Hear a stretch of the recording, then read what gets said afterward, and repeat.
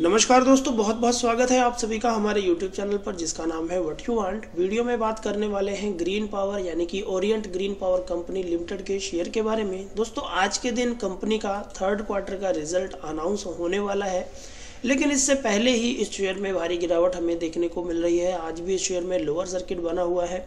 पिछले पाँच दिनों की बात करें तो पिछले पाँच दिनों में भी दस प्रतिशत की गिरावट इस शेयर ने दिखाई है। वन मंथ में बहुत ही अच्छे रिटर्न इस शेयर में हमें देखने को मिलते हैं। यानी कि एक महीने पहले बारह रुपये सत्तर पैसे प्राइस था। अप्रोक्सीमेट डबल प्राइस यहाँ पर एक महीने में इस शेयर ने बना कर दिया। वहीं बात करें सिक्स मंथ की तो सिक्स मंथ में भी साढ़े पाँच सौ प्रतिशत।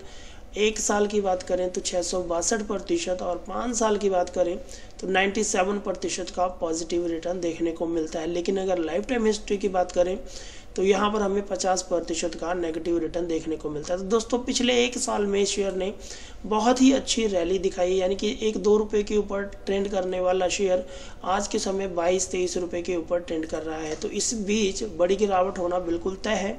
अगर हम इनके ईयर रेंज की बात करें तो एक रुपये अस्सी पैसे से रैली स्टार्ट होती है।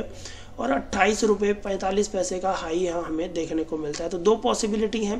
पहला तो ये कि ये एक पैनी शेयर है और पैनी शेयर होने के नाते इस शेयर में इस तरह की मूवमेंट जो है ऑपरेटर एक्टिविटी की वजह से देखने को मिलती रहती होंगी। तो बहुत सारे लोग यहाँ पर माला माल हुए होंगे। आप भी अगर उनमें से एक हैं तो ज़रूर कमेंट कीजिएगा। तो देखिए दोस्तों प्रॉफिट बुकिंग यहाँ पर स्वाभाविक है क्योंकि एक बहुत बड़ी अपडेट अभी कुछ दिन पहले निकली है कंपनी के बारे में। और ये अपडेट इतनी बुरी है कि जिसकी वजह से शेयर होल्डरों को यहाँ पर प्रॉफिट बुकिंग करना पड़ रहा है, माल को बेचना पड़ रहा है। और साथ के साथ थर्ड क्वार्टर का रिज़ल्ट कैसा रहने वाला है और इससे पहले का रिज़ल्ट कैसा था, वो भी हम यहाँ पर ज़रूर जान लेते हैं। उससे पहले जानते हैं कि वो बैड न्यूज़ कौन थी, कौन सी थी, जिसकी वजह से ओरिएंट ग्रीन पावर में इतनी बड़ी डंपिंग इतनी बड़ी सेलिंग हमें देखने को मिल रही है। दोस्तों, सत्रह जनवरी को एक अपडेट आया जिसमें कहा गया कि Shri group in talk to exit Orient Green Power plans to sell its diversified RE business for an enterprise value. As part of its plan to exit non-finance businesses, Shri Ram Group is in talks to with potential investor to sell its wind power company Orient Green Power for an enterprise value of rupees 3000 crore.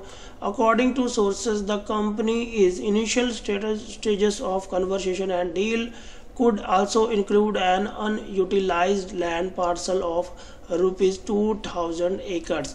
तो company जो है, यहाँ पर cell होने की कगार पे है श्री राम ग्रुप अब इस कंपनी को एग्जिट करने वाले हैं और इतनी बड़ी अपडेट के बाद इतना बड़ा डंपिंग यहाँ पर बिल्कुल स्वाभाविक था। और अगर आप लोगों ने इसमें इन्वेस्टमेंट की है तो अगर आपको मौका मिलता है तो बिल्कुल से एग्जिट हो जाइए इस शेयर्स में, क्योंकि ज़्यादा लालच करेंगे तो आप अपनी कैपिटल भी यहाँ पर गंवा जाएँगे और साथ के साथ जितना प्रॉफिट कमाया है, वो भी आप यहाँ पर खो सकते हैं। आइए जानते हैं कंपनी के क्वार्टरली रिज़ल्ट के बारे में, और थर्ड क्वार्टर का रिज़ल्ट जो कि आज अनाउंस होने वाला है, वो कैसा हमें देखने को मिल सकता है, वो भी हम चेकआउट करते हैं।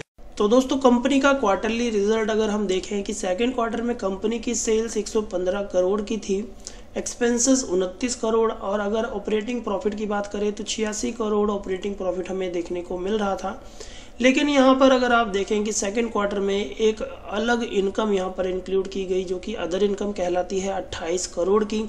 और अदर इनकम ऐड करने के बाद और सारे खर्चे निकालने के बाद कंपनी ने यहाँ पर नेट प्रॉफिट जो दिखाया वो 62 करोड़ का दिखाया और इसी नेट प्रॉफिट की वजह से इस शेयर में भारी उछाल, भारी तेज़ी और भारी रैली हमें देखने को मिली और अब हमें इस शेयर में डाउन ट्रेंड देखने को मिल रहा है। तो थर्ड क्वार्टर का रिज़ल्ट अगर इसी तरह का दोबारा आ जाता है तो दोस्तों, इस शेयर में डेफिनेटली काफ़ी अच्छी खासी रैली हमें दोबारा देखने को मिल सकती है।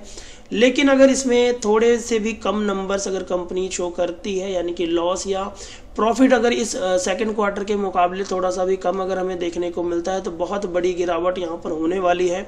और बिल्कुल अलर्ट रहना है अगर आप लोगों ने यहाँ पर इन्वेस्टमेंट की है, क्योंकि जिस तरह कंपनी के लास्ट क्वार्टर के रिज़ल्ट रहे हैं, अगर आप देखेंगे कि कंपनी हर एक क्वार्टर में आपको लॉस जनरेट करती हुई ही नज़र आई है। कुछ एक क्वार्टर ही ऐसे हैं जिसमें कंपनी ने अच्छे खासे नंबर्स हमें शो किए हों। दिसंबर 2018 में छियासठ करोड़ का लॉस मार्च 2019 में 16 करोड़ का लॉस वहीं अगर बात करें, दिसंबर 2019 में 38 करोड़ का लॉस जून 2020 में 15 करोड़ का लॉस तो इस तरह के डाटाज हमें यहाँ पर थोड़े विचलित ज़रूर करेंगे। अगर हम यहाँ per year on year basis पर देखें तो कंपनी ने पिछले साल अट्ठावन करोड़ का लॉस दिया था। ये बात बिल्कुल भी नहीं भूलनी है।